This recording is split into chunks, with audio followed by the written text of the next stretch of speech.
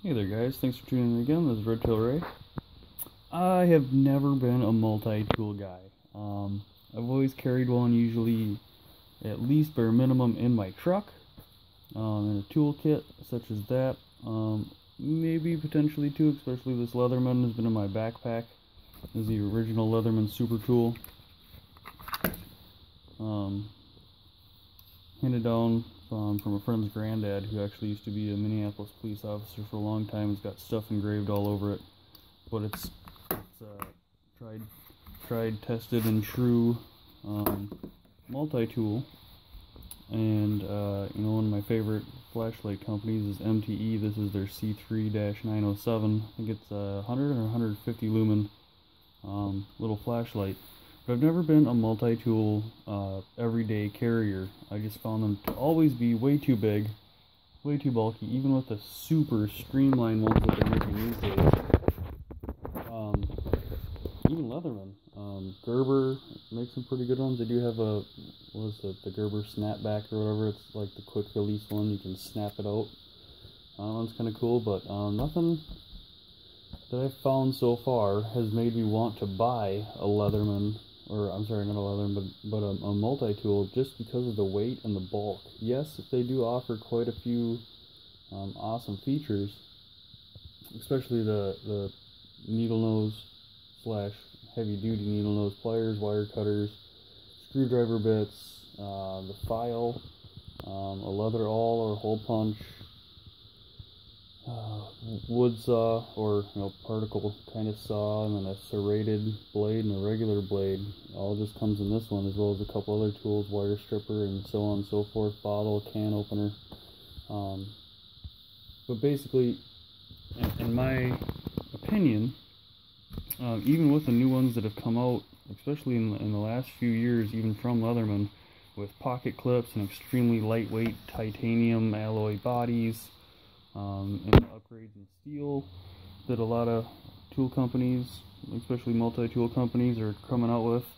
Um, I've still never really been a big fan just because of the way you have to carry it. So I've been playing around with the idea of making um, a way to carry my heavy-duty Leatherman original original Leatherman Super Tool um, in kind of a concealed belt-ridden, you know, at least under the under the t-shirt um, kind of fashion. And I just finished this up, I actually started this project this morning, on and off and back and forth.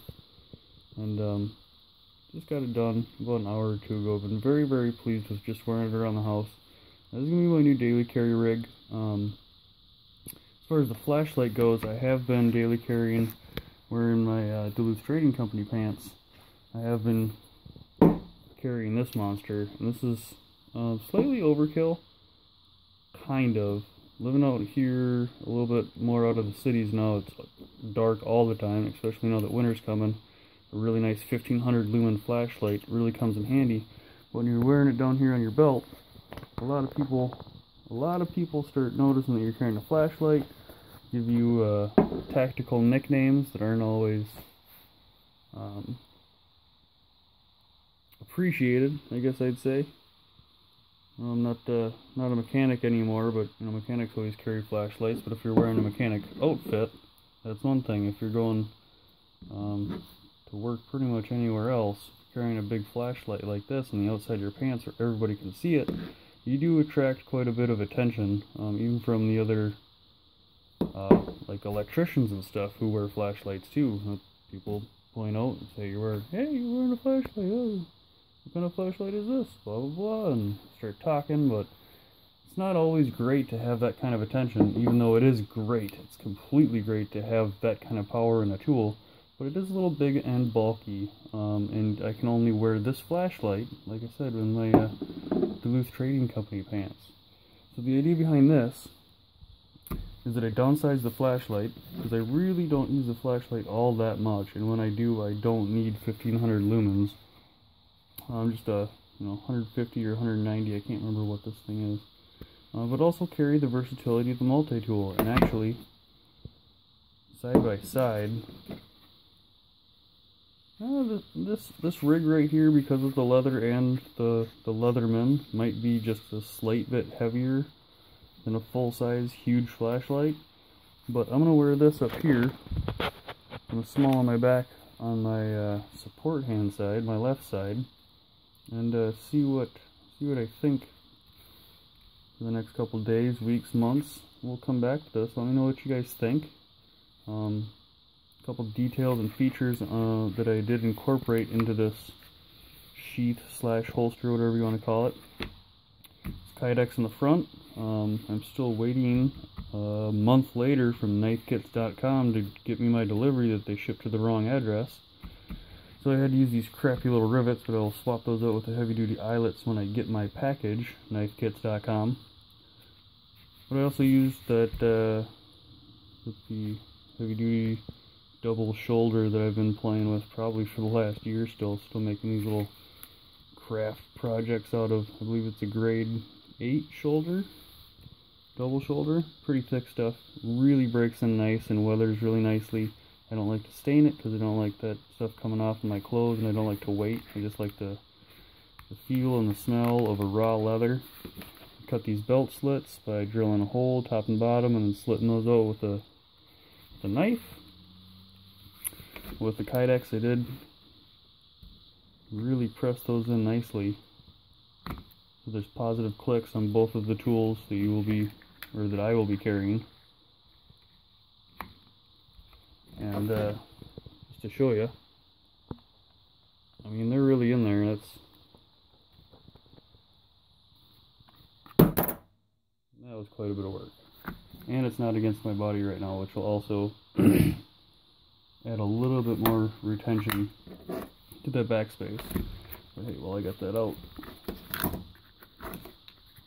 I did um, end up finding that I couldn't press the Kydex sandwich style in as close as I wanted to. I did two test two test runs in a sandwich style to try to see if I could get these tools as close together as possible and make a small the smallest holster slash sheath that I could possibly make.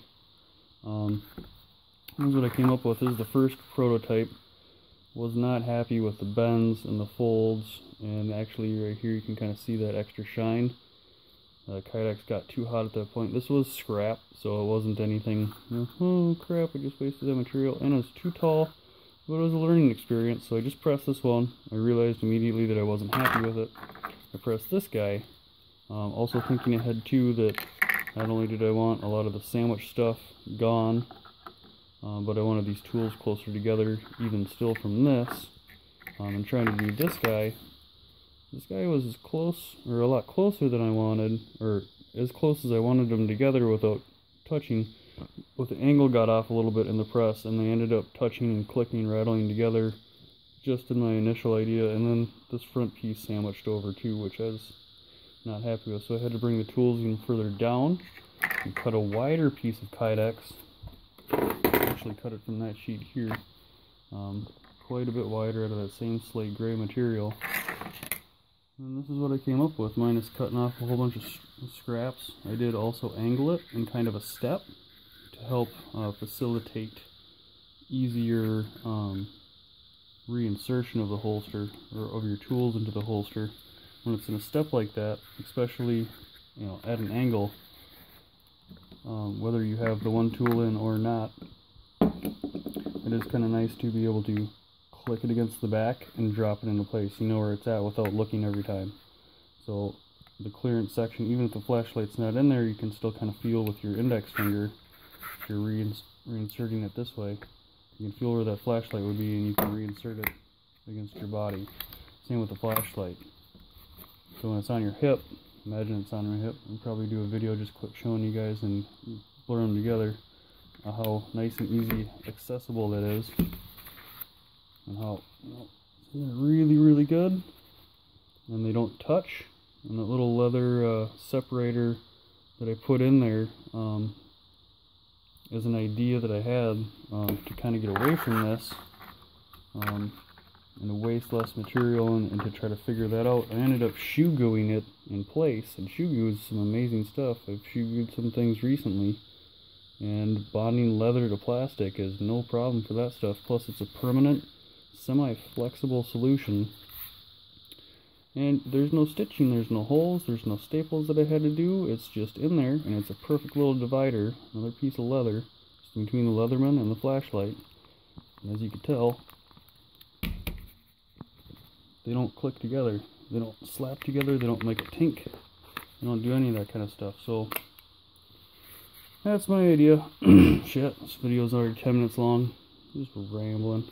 Um, got the next couple days off, so I think I'm to be doing another couple couple videos here um, before my weekend starts to get really busy on Saturday, but I'll see you guys in the next video. Let me know what you guys think of the most awesome Leatherman holster that I've seen on the internet. Because I've looked, I've browsed the images and I've browsed the videos, and I'm not impressed. That's why I made this. You're welcome, Internet.